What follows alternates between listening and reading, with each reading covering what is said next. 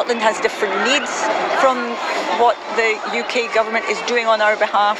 Um, it's not in my name, and that's where I would why I would vote independence. Scotland, I think, is very blessed with so much resources, and I think this is way an opportunity for Scotland to tap and use and maybe mobilize its resources for the betterment of the people. So let's give Scottish independence a chance. So maybe yes. I think yes. I'd vote for independence. I'm originally from England, but uh, from moving up here, uh, I definitely agree with independence. Definitely. I'd definitely be for independence. Yeah. 100%, yeah. I'm all for it. Aye, I voted aye the last time and I'll do it again. I think it's time. Yeah, you can make your own rules.